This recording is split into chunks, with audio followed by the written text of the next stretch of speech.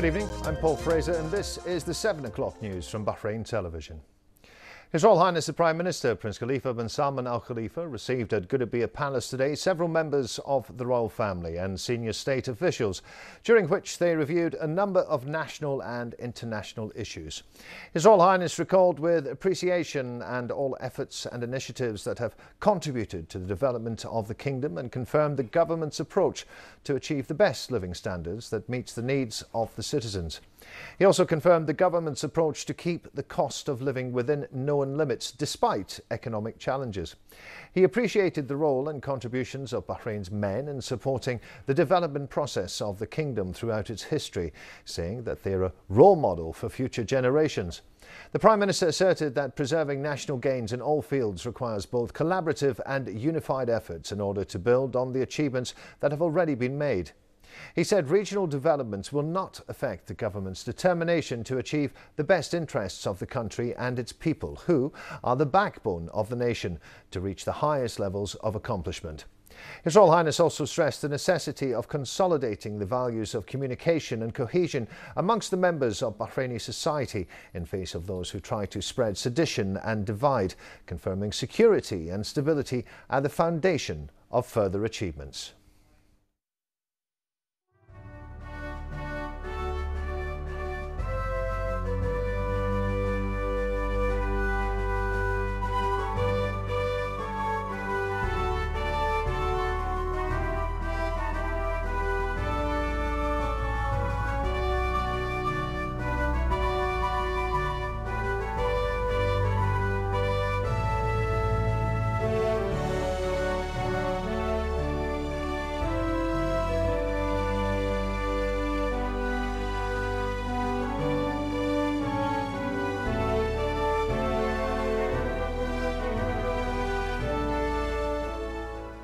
Representative of His Majesty the King, Chairman of the Supreme Council for Women and President of Bahrain Olympic Committee, His Highness Sheikh Nasser bin Hamad Al Khalifa met today with United States Ambassador to Bahrain, William Roebuck.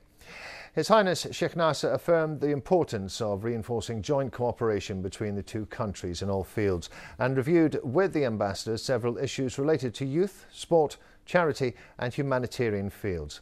The ambassador expressed thanks and appreciation to Bahrain and its leadership for its constant keenness to consolidate the existing excellent bilateral relations and expand fields of joint cooperation in all fields.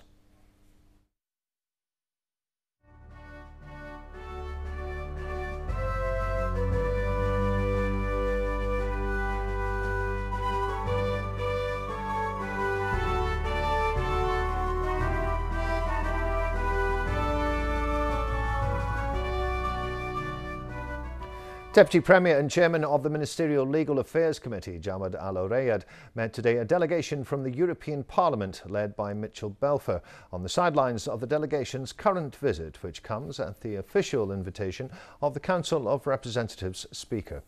The Deputy Premier asserted the importance of intensification of such visits to consolidate ties with Bahrain's legislative bodies and to exchange expertise and experience, as well as viewpoints regarding key regional and international issues. He informed the European Parliamentary delegation about Bahrain's accomplishments since His Majesty the King ratified the National Action Charter, conceded by 98.4% of the people. This falls in line with the ongoing democratic reforms to build a modern state that is proud of its cultural heritage and that is open to human civilizations and cultures. Al Orayed also affirmed Bahrain's keenness on boosting its democratic experience, consolidating the cooperation bonds with sisterly and friendly countries, and contributing to regional and international security, stability and peace. The, de the, delegation members thanked the Deputy Premier for the good reception and hospitality, praising the development of Bahrain in all political, economic rights and societal fields, and affirming the importance of mutual legal and legislative cooperation. Speaker of the Representatives Council Ahmed Al Mullah met today with a delegation from the European Parliament, led by Mitchell Balfour, who are currently on a visit to the Kingdom. Al Mullah affirmed the importance of reinforcing joint cooperation and communication with European and international parliaments so as to shed the light on Bahrain's achievements under the reform project and democratic process, in addition to clarify the true image of Bahrain's positive developments.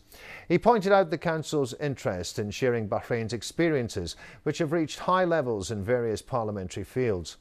The representative speaker confirmed the importance of strengthening joint cooperation and increasing the exchange of official visits to further examine advanced parliamentary experiences and consolidate cooperation with international parliaments.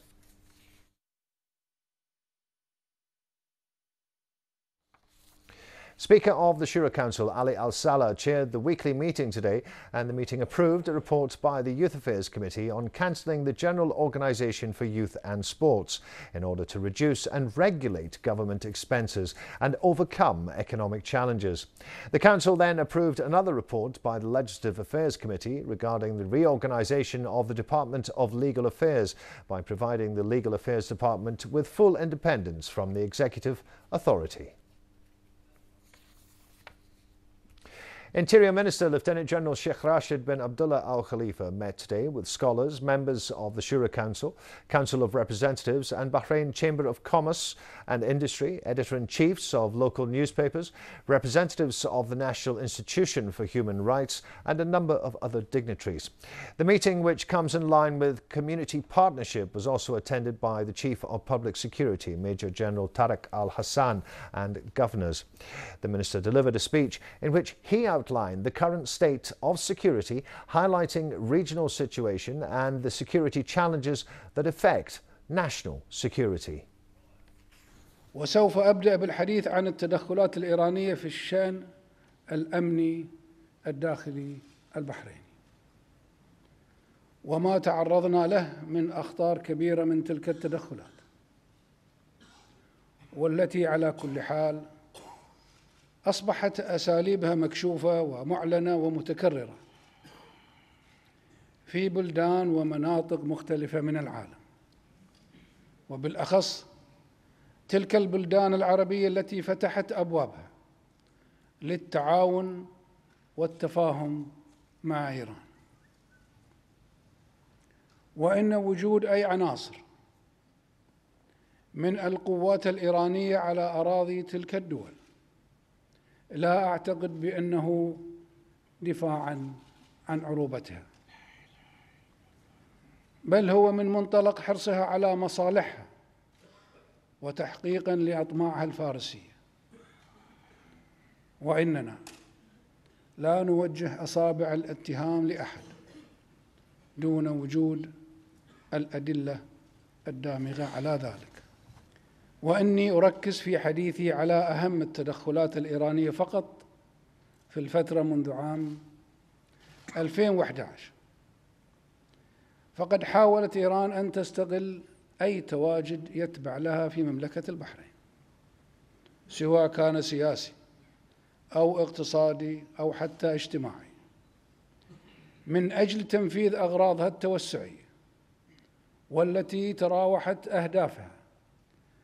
بين استهداف أمن الوطن واستقراره باستخدام الأسلحة والمتفجرات والعمل على زعزعة النظام والإضرار بالمصالح الاقتصادية والتأثير على مسيرة التنمية.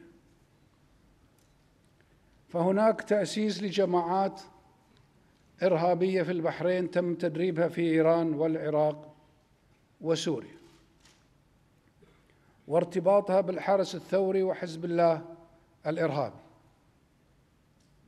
وفوق ذلك تقديم الدعم المالي والإسناد بالأسلحة والمتفجرات خلال عمليات التهريب. وهذا يشمل التدريب على التصنيع وتخزين المتفجرات. وما نتج عن ذلك من أعمال إرهابية. وما كان منها موجه ضد رجال الأمن. حيث بلغت تضحيات شهداء الواجب 17 شهيد وآلاف المصابين. وطبعا ما ترتب على ذلك من عمليات قبض أدت إلى محاكمة من تم تشجيعهم وإغرائهم وتورطوا في تلك العمليات الغادرة. والأمر الآخر هو ضرب الوحدة الوطنية من خلال تكريس التطرف المذهبي بقصد تحقيق الفتنة الطائفية بين المواطنين السنة والشيعة. ولم يسلم من ذلك شيعة البحرين بعد أن فرضت عليهم ولاية الفقيه. وهو موضوع لا تجتمع عليه المراجع الشيعية.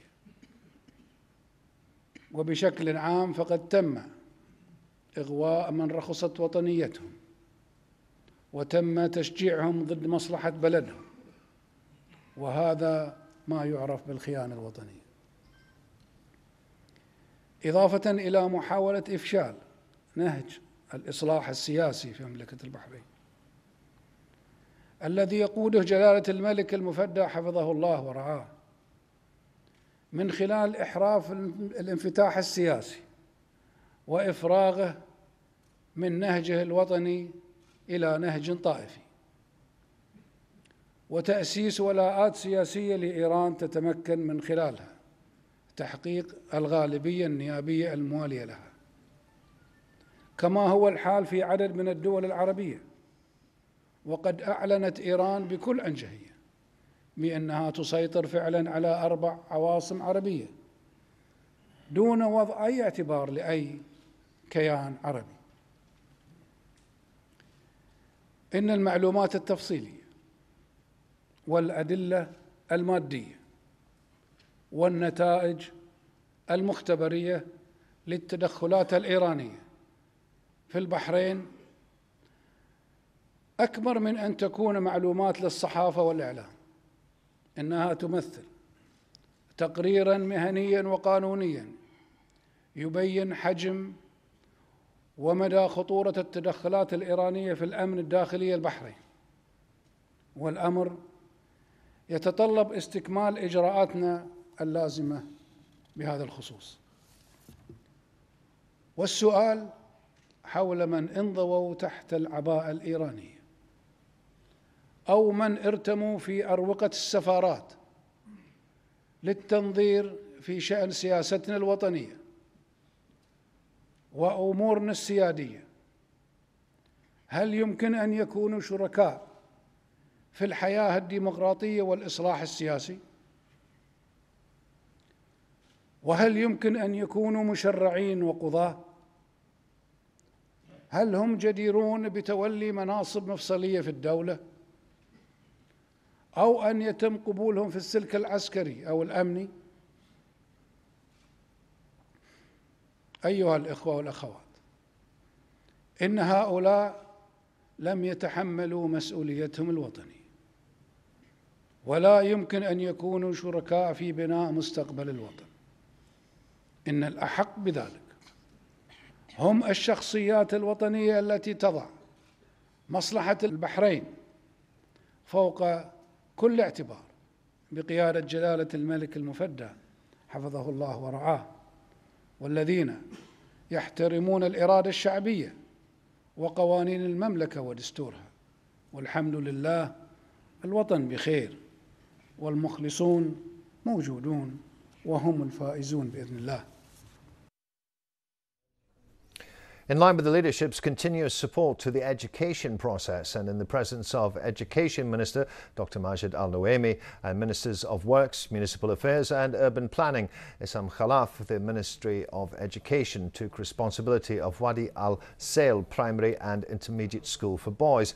The four story school includes 38 classes for primary and intermediate branches and accommodates more than 1,300 students and members of administrative and educational staff. The school is considered the first to be fully built with environmentally friendly materials in addition to using advanced electronic systems for the educational process and featuring facilities for students with special needs. And now with the latest on the local markets to the African Economic Summit, it's across to Mohammed for the latest business news. Thank you, Paul.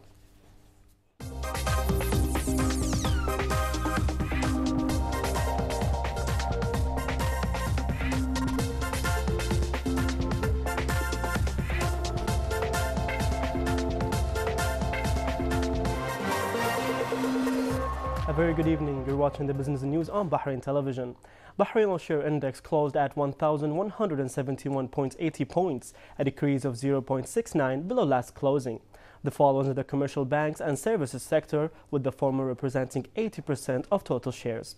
38 transactions included 728,120 shares worth 159,616 Bahraini dinars.